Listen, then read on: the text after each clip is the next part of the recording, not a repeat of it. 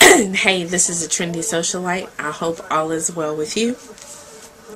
It is time for my thoughts on chapter 2, um, book of Proverbs, in the book of Proverbs um, as part of our A New Year, A New You series. Um, I actually, uh, a lot of chapter 2 really spoke to me um, and just blessed me. And I really felt like uh, about half of chapter 2 was about the promises of God and um, what He will do and how He will keep us if we follow Him and His commandments and that okay. sort of thing. so starting at verse 3 basically i highlighted verses 3 through 12 like all all that was good to me um, starting at verse 3 yes if you cry out for discernment and lift up your voice for understanding if you seek her as silver and search for her as for hidden treasures, then you will understand the fear of the Lord and find the knowledge of God. For the Lord gives wisdom. From his mouth come understanding, knowledge, and understanding. Um, for me, those first three verses, those three verses, talk about how we ob obtain wisdom from God. And, you know, there are two ways basically to do that, I feel. One is it comes directly from God, um, like it's God given. And then the second is in our search for it, in our pursuit of it. And, um, as with anything in life, um, you know, old folks used to say anything worth having is worth working for. It's the same thing with wisdom. Um, God knows us better than we know ourselves. He knows how humans are. And if He were to just lay everything in our lap, would we really appreciate it? Would we really um, use it to its fullest uh, capabilities?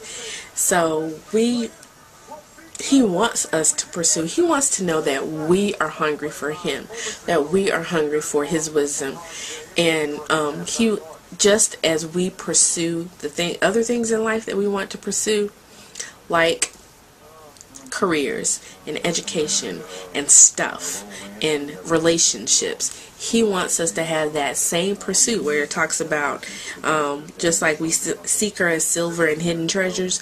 He wants us to have that same persistent, dogmatic pursuit of Him and of His wisdom and of understanding Him and His mindset and how He thinks. Because when, when we put on, as people talk about the mind of Christ, then we see things differently. We see and we see things that we wouldn't see if we didn't have the mind of Christ. Um,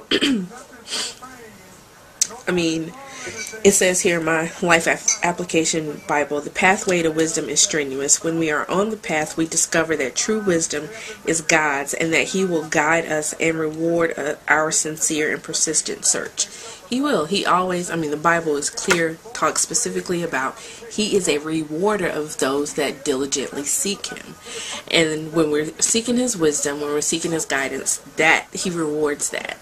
Um, it may not be um, in tangible ways that you can readily see, but if you're if you're really in tune to God, if you're really in tune to yourself and changes in your life, and if you're really reflective, then you'll be able to see those changes manifest themselves. Um, starting at verse 7, he stores up sound wisdom for the upright. He is a shield to those who walk uprightly. He guards the paths of justice and preserves the way of his saints. Then you will understand righteousness and justice, equity, and every good path. And this is a part. When wisdom enters your heart and knowledge is pleasant to your soul, discretion will preserve you, understanding will keep you, um, to deliver you from the way of evil. Now that right there, that's a promise. That is God's promise. When we allow wisdom to enter our hearts and when seeking knowledge and getting God's knowledge and, and understanding God's mind is pleasant to us, meaning that's good for us, meaning that that's what we want, then discretion will preserve you. Understanding will keep you.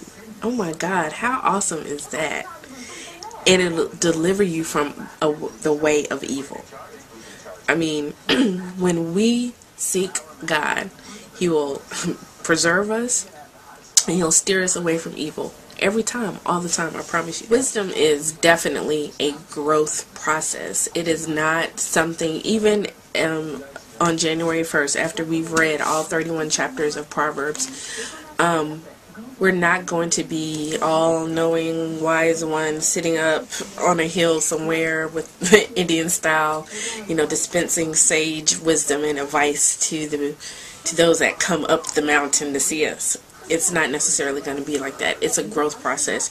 You're going to probably have to read this again. I would suggest that you read it if not every every year, I mean every 6 months, at least every year. But as we we read this um, one, it teaches us respect for God. Two, it teaches us about the choices that we need to make. And we do. Life is life is full of choices, and we have to make the right choices. And when we make choices that are right, just like here, it talks about how discretion and understanding will keep and preserve us and will steer us away from evil.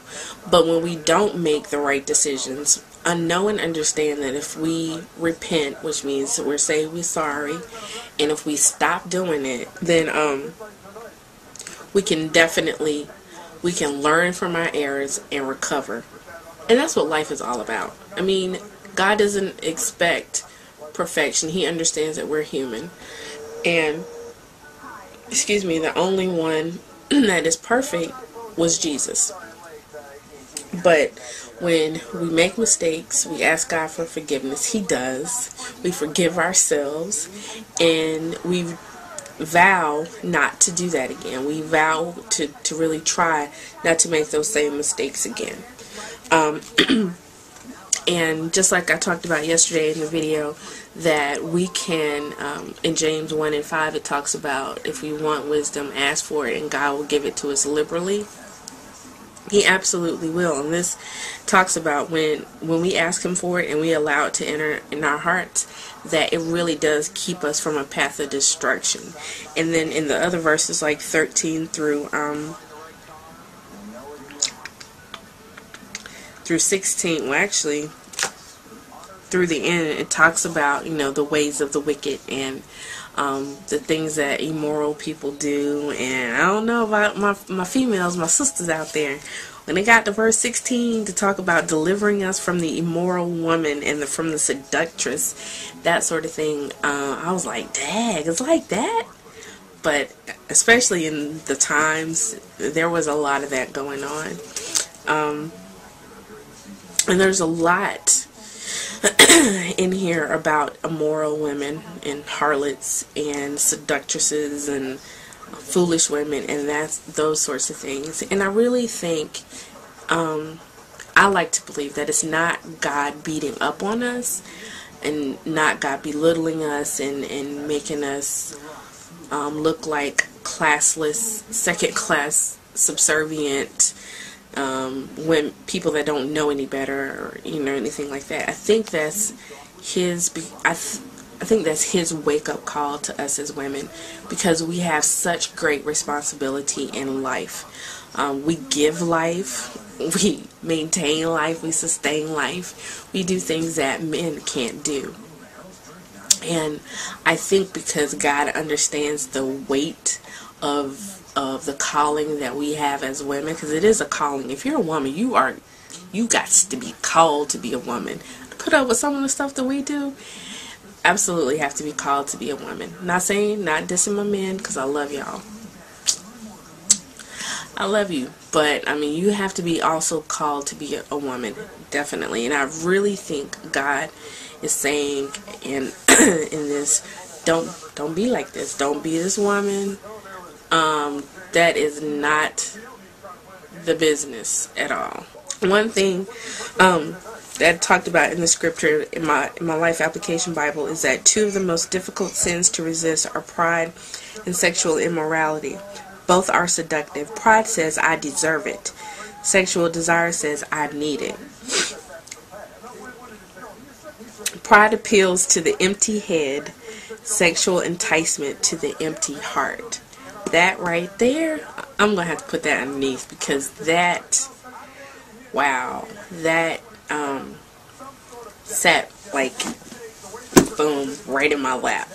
Um, it just really makes you think, and and it talks. Um, it just really makes me think about why I want certain things and why I feel like I need certain things, and and it just really makes me evaluate um, all of that. What I say that I need, what I say that I want.